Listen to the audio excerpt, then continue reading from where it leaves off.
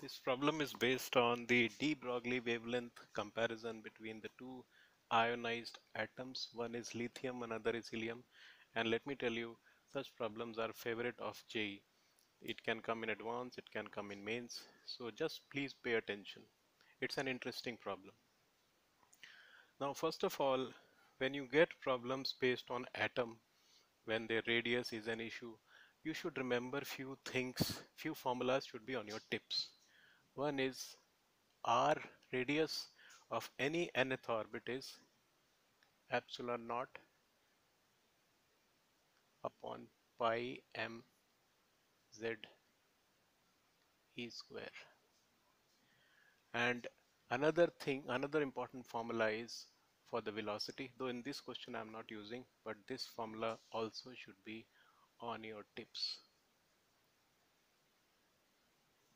Another formula which you should always remember is which is about the quantization of the angular momentum which is mvr is equal to nh upon twice pi.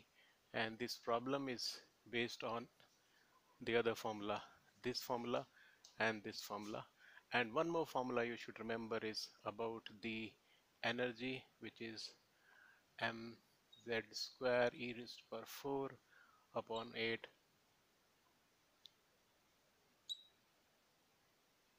this is also very important formula. And it is on this formula that you get this equation which is minus 13.6 z square upon n square. It this formula these formulas can be applied for any atom which is hydrogen like means it has single electron in the orbit around the nucleus. Means suppose if there are a, there are three electrons in the atom and I remove two electrons are removed you have one electron left then it becomes hydrogen like and it becomes hydrogen like only thing is Z you will use 3 and not 1 which is used for hydrogen so problems come not for the hydrogen generally in advance in JEE that it is hydrogen like atom. So these formulas should be on your tips. First of all, very, very important. Now let us do the problem. The problem is one is the doubly ionized lithium atom and another is singly ionized helium atom. Doubly ionized means I have removed two electrons. So lithium has Z is equal to 3. So I have removed two electrons, only one electron is remaining but z remains the 3 z doesn't change it is z you have to take number of protons similarly here singly ionized means it had two electrons one electron has been taken out. So both of them have one electron and one electron. They are hydrogen like only thing is z here is 2 z here is 3 z here is 2 another thing what is given is that angular momentum here is given as this. The electron is in such orbit. Electron is not in its first orbit. Electron is in such orbit that the angular momentum here is given like this and here it is given like this. So first of all recall this formula. This is quantization of angular momentum. Here n represents the orbit nth orbit. If n is 1 then mvr is h upon 2 pi. If n is 2 nvr mvr is twice h upon 2 pi. So simply what the problem is saying is here n is equal to 3 and here n is equal to 2. We have to find the ratio of their de Broglie wavelengths. So this was the first step trying to find out if such in a problem you are given angular momentum is such and such then if you have to uh, find out the in which orbit the electron is so this represents the orbit now what is the radius of the orbit where the electron is?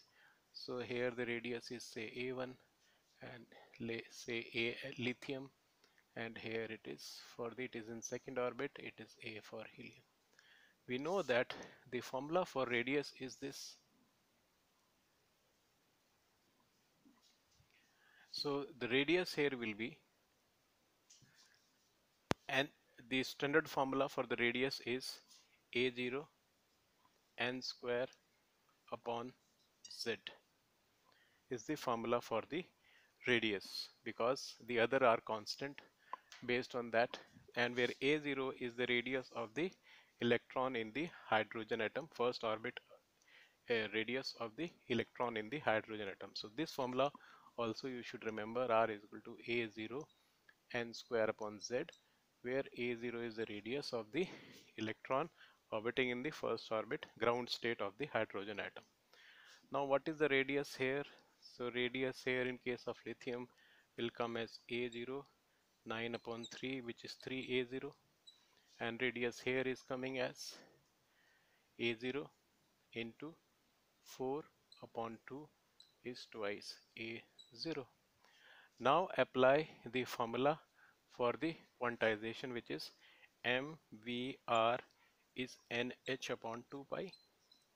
Apply this in both the cases so m velocity of the electron in this case lithium this is mass of electron and a is 3a0 is 3 and h upon 2 pi 3h upon 2 pi so you get twice pi a0 is h upon MEVLI. Similarly here you apply same formula MV in case of helium and A is twice A0 is twice H upon twice pi. So this gets cancelled so I get twice pi A0 is H upon MVHE. Now what is de Broglie wavelength? de Broglie wavelength is lambda is h upon p. What is this? This is the momentum in both the cases. So this is de Broglie wavelength in case of lithium and this is de Broglie wavelength in case of helium means lithium, doubly ionized lithium and singly ionized helium. You see the ratio of the two in this case is coming as 1. So uh, this problem can be designed in multiple ways. This is the simplest way uh, the problem has been done you can make practice the problem with number of other combinations and I advise that for JEE Advance for JEE exam try to from your side also try to visualize how the problem can be designed